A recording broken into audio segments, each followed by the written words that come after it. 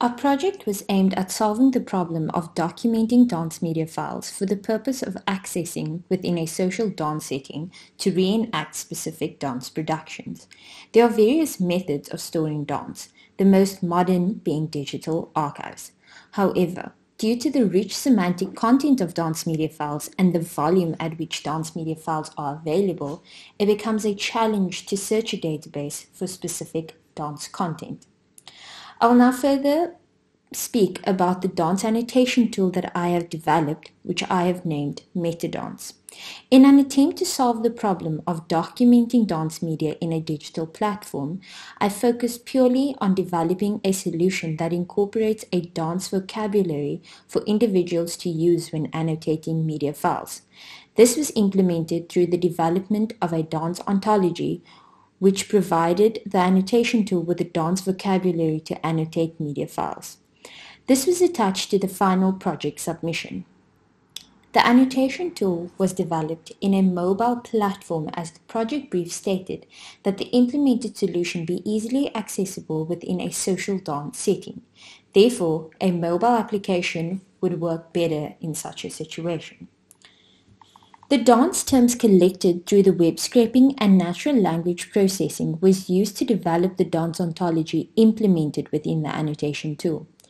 Only dance terms for salsa and cha-cha-cha were collected to demonstrate the reusability of the method used to collect dance terms. As a result, the following dance ontology structure was developed. As can be seen from the slide, the general structure of the ontology includes dividing terms associated with salsa and cha-cha-cha. Each dance contains its own specific difficulty levels under which each dance move collected was categorized. Some dance moves were found within both salsa and cha-cha-cha.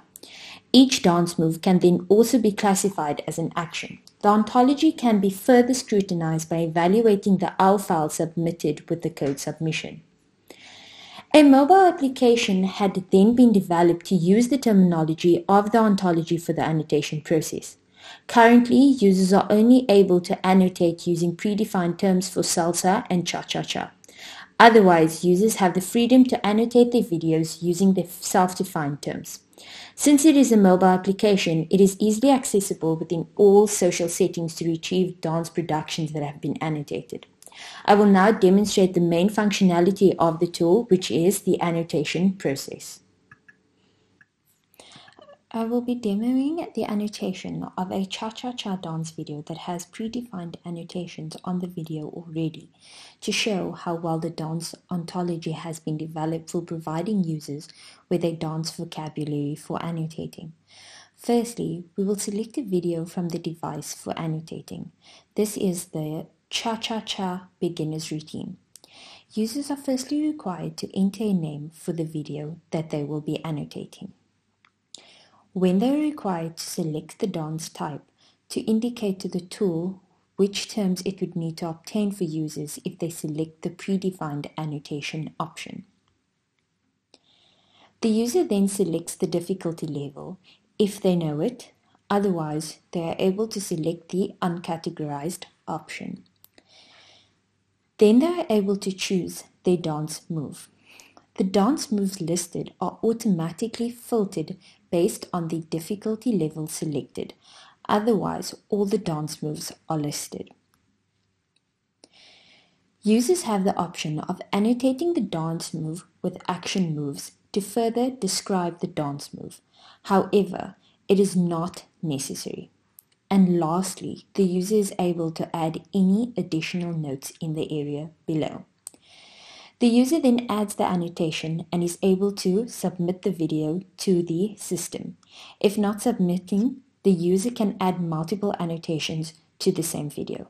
For the purpose of the demonstration, we will be adding another annotation so that we are able to navigate to the database to see whether the video has been added or not.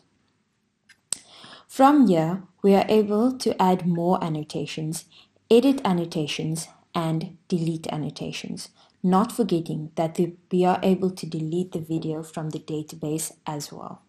From the screen, we can see the plus symbol over here would allow us to add additional annotations to the same video. We are also able to edit existing annotations. Otherwise, we are able to delete them. We are also able to delete the video information from the tool, information from the tool.